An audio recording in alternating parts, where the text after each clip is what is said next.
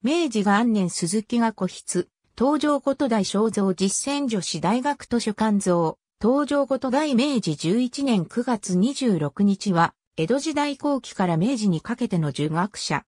幼名は、偽造、または構造。名は、信仰。字は根造。通称は文左衛門、後に玄右衛門。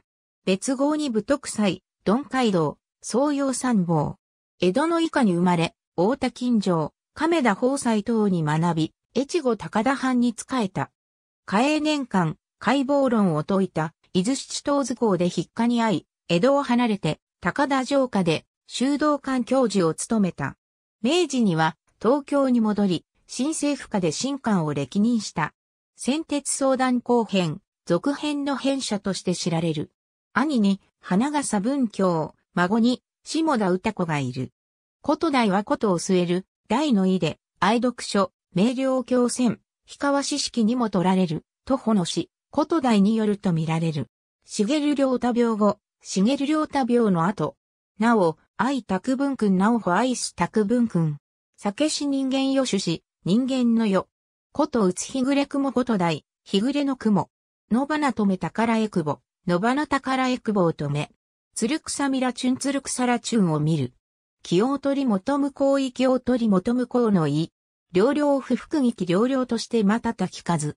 文左衛門は、死、亀田宝斎の通称に習った。完成7年6月7日、江戸芝宇田川町に生まれた。父に四書五教を習い、文化6年頃から伊藤蘭伝、倉成龍渚、李東二州、山本北山、大田金城、亀田宝斎等に支持し、多彩な学派に接触した。文化14年、大田金城の弟子であった身の岩村藩士、平尾真珠に後継ぎがなかったため、金城の終戦により婿養子に入り、平尾姓を名乗った。しかし、江戸幕府では、林十歳が医学の金を唱え、十歳の出身である岩村藩でも医学への風当たりが強くなったため、平尾家は折衷学に傾いていたこと代に後を継がせることを憂慮し、文政2年離縁に至った。文政7年、ついに折衷学を捨て、昌平坂学問所で、林家に、朱子学を学んだ。文政10年、越後高田藩榊原精霊に登用され、また3年間幕府まかない方勝利も務めた。天保3年春、柳橋の首楼で、下作者や浮世絵師等500人余りを介した盛大な書画会を催したところ、過敏に過ぎるとして、林家から破門されたが、古代は開き直って、湯島の首楼で、除門会を催した。嘉永三年、解剖論を説いた、伊豆七島図工が幕府に咎められ、高田藩邸に幽閉となった。嘉永四年五月解除され、夏、榊原聖愛の命で、越後国高田城下江戸長屋に移り、嘉永六年、西の辻通外堀、在幸橋長屋に移った。文久初年には、信濃国松台や古市中国高岡へ旅に出た。慶応2年11月、高田岡島町に、藩校修道館が開館すると、琴台はその教官筆頭に就任した。慶応3年7月16日、判明により、長岡、三条を経て、会津藩の情勢を偵察した。明治元年8月、陳章府より証明が下り、9月8日東京へ登った。大学で書を講じ、間もなく高田に帰った。明治2年11月18日、一家で東京に登り、明治3年9月印命、翌29日宣教師出資を命じられ、ウルー10月20日宣教省博士に任命された。宣教師内では、上位論の国学者等と対立した。明治5年3月、人義省廃止により宣教師は廃刊となり、8月30日亀戸天神社士官、ついで9月24日県中講義に任ぜられた。明治7年5月5日教部省10等主し、交渉係となったが、眼病にかかり、明治8年7月辞職、間もなく失明した。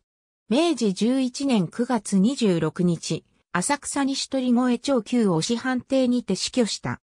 時世は、漢学士無心。終身伏せ総合。二棺美百字。同人誰干渉。口の名を問う人あらはかねてよりなき世の友を待つとこ、たえよ。9月27日新総裁の後、お師範の菩提寺谷中天願寺に葬られた。後に、江東区東向島蓮華寺に改装された。昭和3年、樹五位を追贈された。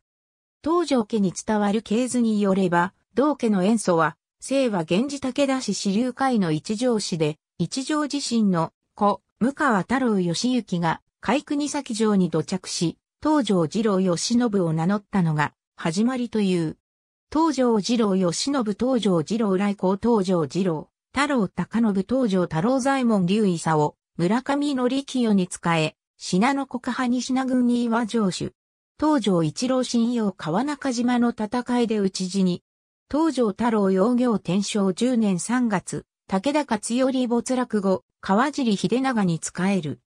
東条太郎大部陽子と、東条現在門陽元東条現大部元種、東条八郎左衛門新明1月18日没、東条信友8月23日没から、友庵、きつい道、見ますとゴース。